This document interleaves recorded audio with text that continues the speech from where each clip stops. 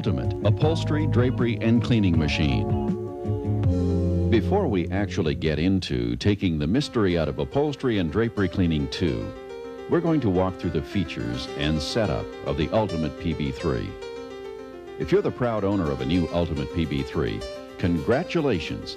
You're about to unpack the most unique upholstery and drapery cleaning machine on the market today, with patents and features just not available with any other equipment. As you unpack your equipment, inspect the shipping box and your PB3 for any damage. If any damage is detected, contact the trucking company immediately. Starting on the left of the PB3 is the 4-in-1 upholstery kit.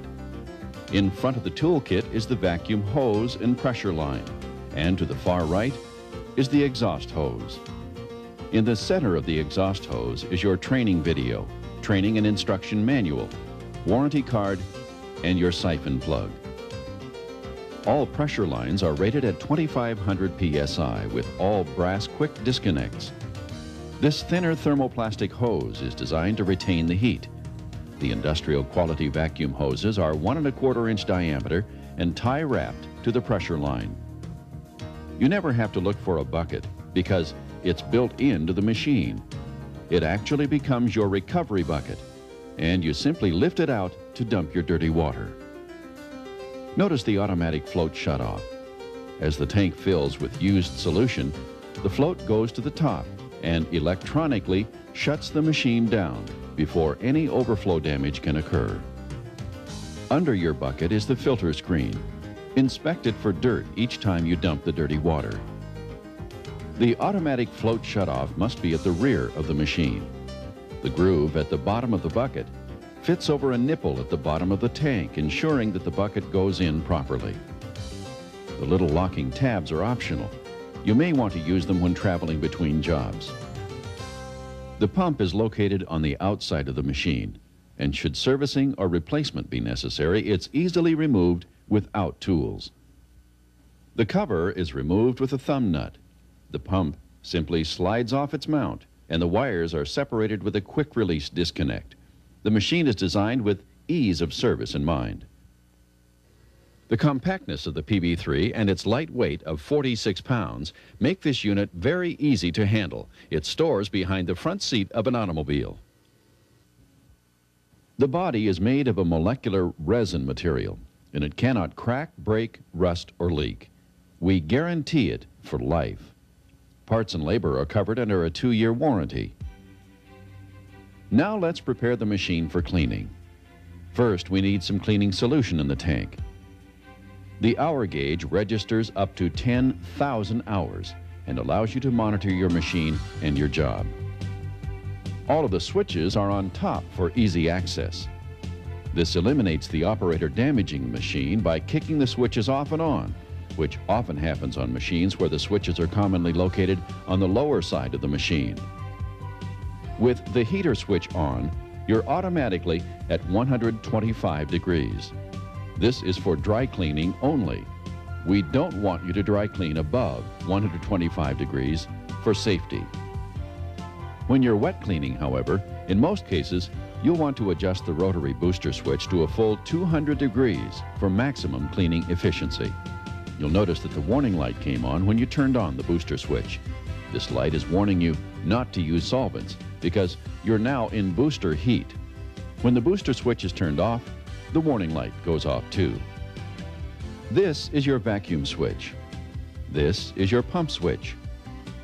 Okay, we have cleaning solution in the tank, and we're ready to continue setting up the PB3 for our first cleaning job.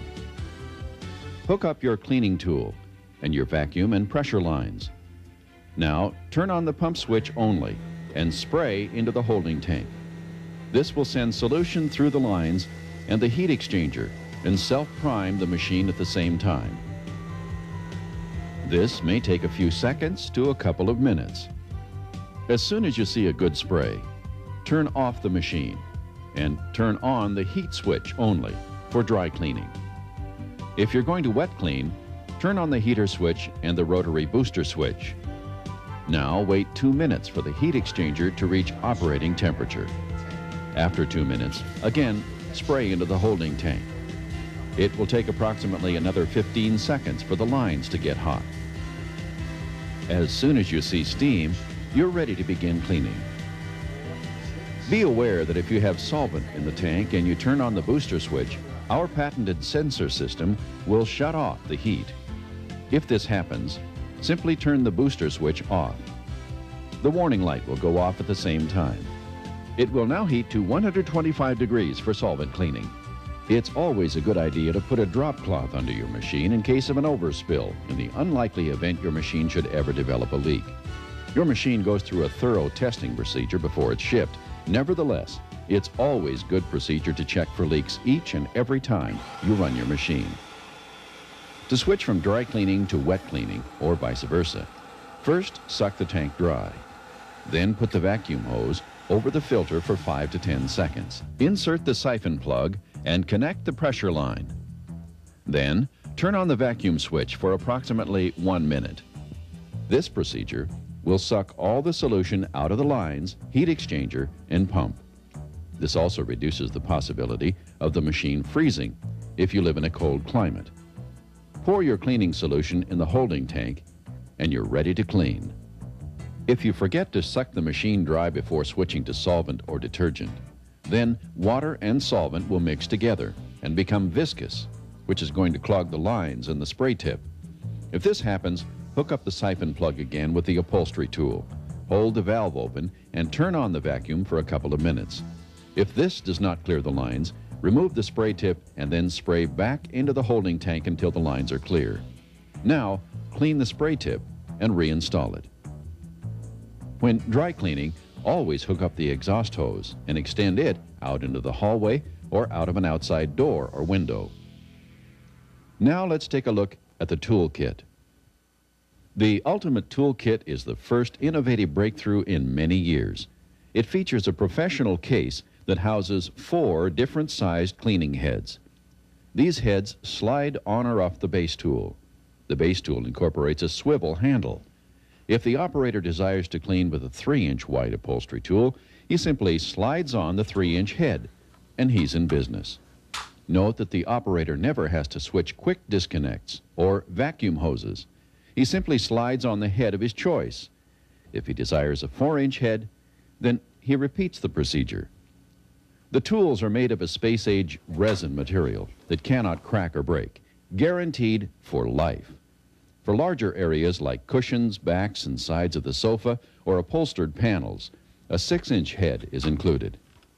If the operator wishes to switch from upholstery to drapery cleaning, he simply slides on the 6-inch drapery head.